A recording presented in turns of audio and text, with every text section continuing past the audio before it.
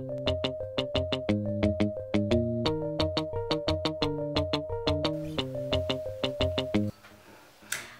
guys, it's Ebonee and in this video I'm going to be showing you my top 5 favorite NYX lip glosses.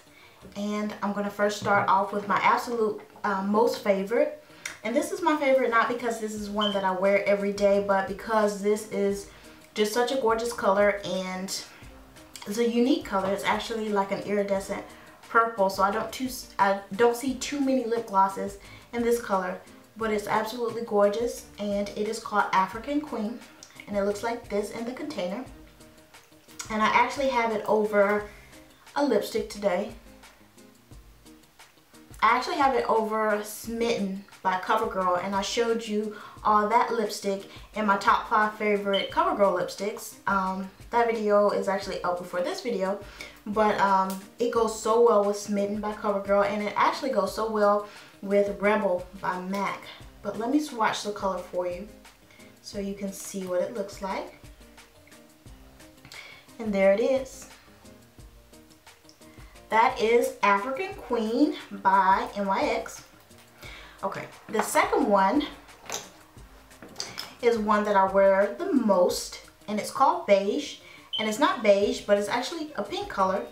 Um, but it's a great color to wear with for like every day with like nude colors or even like pink colors. It's a great lip gloss to go on top of that. And let me swatch it for you. This one is beige. It's a beautiful pink color, just a soft pink color. It's not too pale and it's not too dark. So it's a great like mid-tone pink color and it goes, like I said, so well with nudes and different pink colors. The next one is a very daring color and this color, um, I wouldn't wear on a daily basis either just like African Queen I wouldn't wear this on a daily basis but if I wanted to kind of up my look for like a special occasion this would be a great color it's actually like a hot pink color and it's called called Dolly Pink. This is what it looks like in the tube. And let me swatch that one for you. This one is also such a gorgeous color right here. Dolly Pink. The next one is a wonderful, wonderful nude. If you only have one lip gloss in your collection, only one lip gloss that you wear on a daily basis and you didn't know what to choose, I would probably choose this one. This one is called my Miami Babe. Miami Babe. And um, it's like a pinky brown color. And the reason why I said this would be great if you only had one lip gloss is because it goes so well with, it goes well with so many different colors. Nudes, pinks, browns. Um, the only thing that it probably wouldn't look too good with would be like reds and purples. But for like daily colors, colors that most of us wear on a daily basis, this would be a great lip gloss to pair it with. And that is Miami Babe.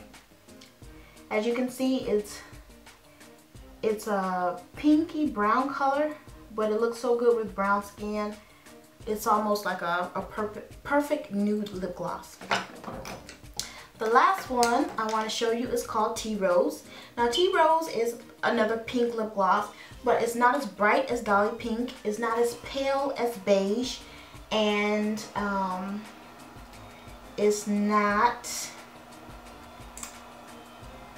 it's not as daring as some of the other colors. Um, it's just a nice pink to have.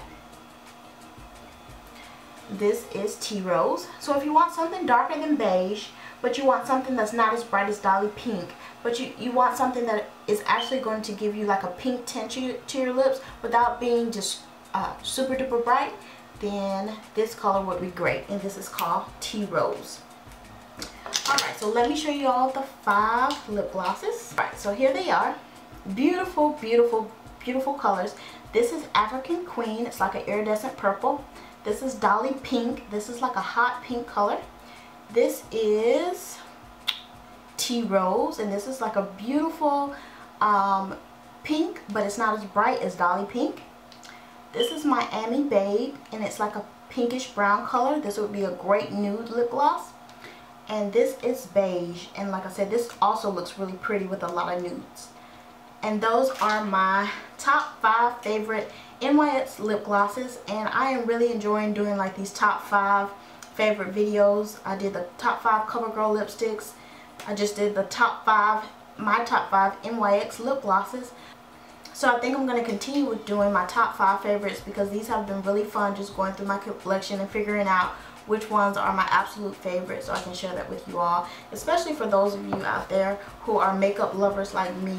You know, these kind of videos really interest me when I watch them on other people's channels so I definitely wanted to share it with you all too um, just in case you're interested. So thank you so much for watching and I will talk to you guys again soon. God bless you. Bye-bye.